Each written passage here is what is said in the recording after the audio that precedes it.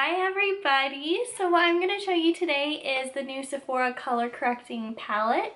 I'm super excited to show you this. Um, has a lot of cool colors in it and it's just going to show you how to correct redness, dark circles, dullness, anything that you really could need to. So this is the outside, this is the box of it. Cool color pattern there and then that kind of has a guide on it of what's going to be in there.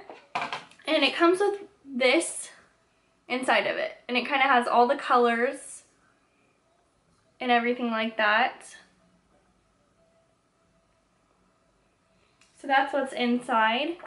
And this is what it actually looks like. Nice packaging, white. Love it. So this is what comes inside of it. And I think it's just beautiful. Just look at that. So, it also comes with one of these. That kind of explains everything, but I'm going to explain that to you right now. And so, listen up. I hope you're ready. And I'm going to be applying this with the Sephora 52 brush. And it's the Pro Stippling Concealer brush. So I'm going to kind of show you where everything goes and you're going to want to blend it in. And then I'm going to just show you kind of how to conceal it at the ends because you don't want green and purple and yellow showing through your makeup. So let's get started. Okay, so first we're going to start with dark circles. And with the dark circles, you are going to want to start with this. It is the number two color. It's a peach. So dark circles eliminate with peach. So it is very pigmented, very pigmented. So you're just going, gonna wanna barely dab it in there.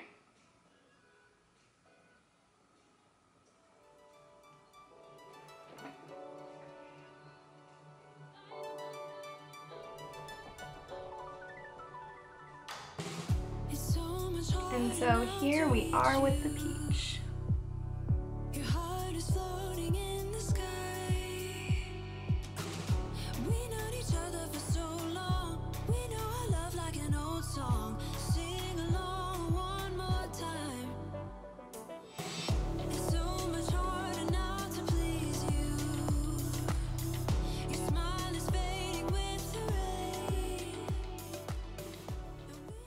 Then after going in with this peach, I'm going to go in with this one right next to it.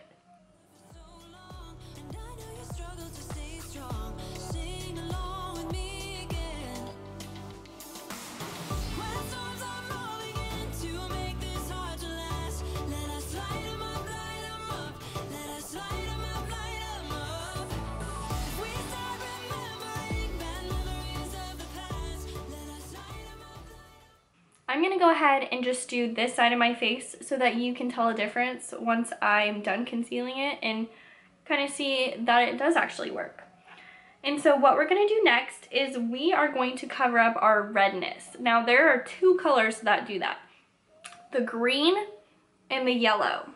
The green really calms intense redness, like any spots that you think would be very noticeable. I know I have a lot of redness here around my nose, on the bridge of my nose. I have some light redness here. That's where I would use the yellow. So you can actually use the green first wherever you think it's the most intense and then cover that up with the yellow. So this is where I see the most redness in my face.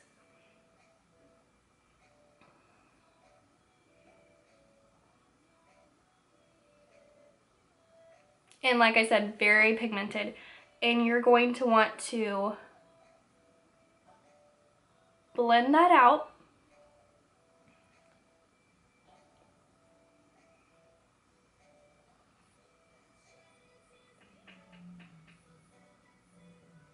And you're not going to want to blend it out completely because you are needing to have the green there.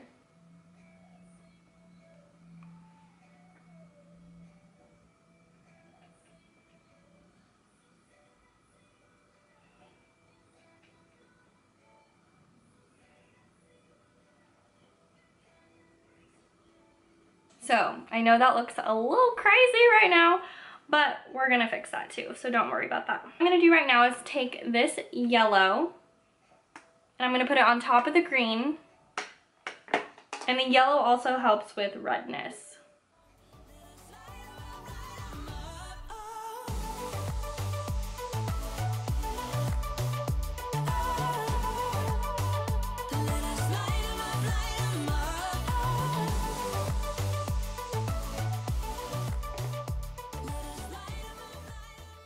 Once we've kind of put the yellow on top of it, I'm really going to kind of dab it out. Because you want the green and yellow on there, you just don't want it so intensely. Like I said, this is very pigmented. So next we're going to use the lavender, and this is going to brighten you up. You're going to use it in any places that you want to look lighter. So down here a little bit.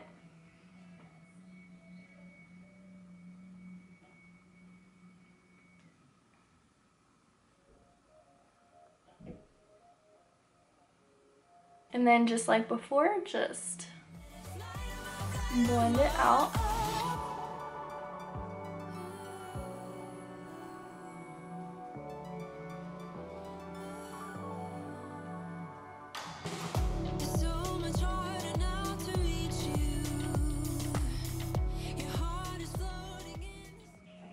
And so these colors that I've just explained are very bright, kind of weird to put on your face. I guess a green and a purple. Um, but these colors over here is actually what you use to cover that up so that you don't have splotches of green and purple and yellow all over your face. So I'm actually going to use some of this color right here on my eye to brighten that up.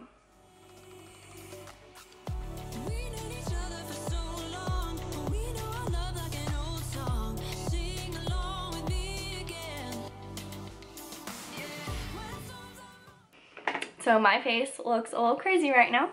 So we're going to conceal that with these colors over here. I'm going to use this one right here. It is the number four on the palette. And I'm just going to use this to cover up some of the green.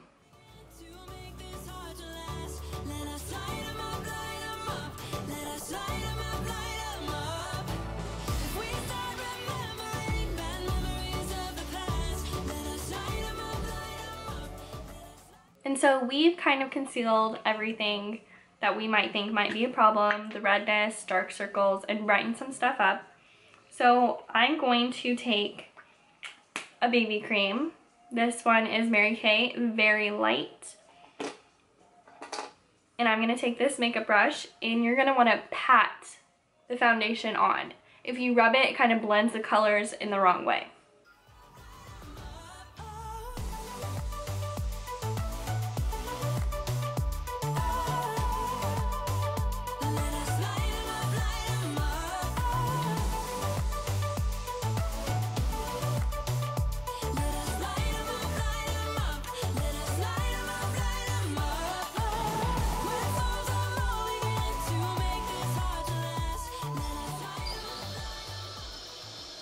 Once I've done that, I always like to smooth it out with a beauty blender. This one is actually the Real Techniques one that I've been trying out and I think I really like it.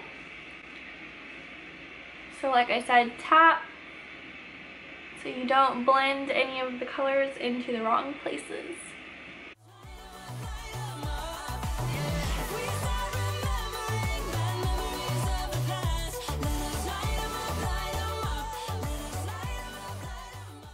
Now I don't know if you can tell, but if you can see it, my dark circles right here are pretty noticeable versus this side, which look a lot more blended in and not there as much. I'm going to go ahead and set it with a mineral foundation powder. I like to do this just so I don't have a tacky or wet looking face. This one is from Mary Kay Ivory 1.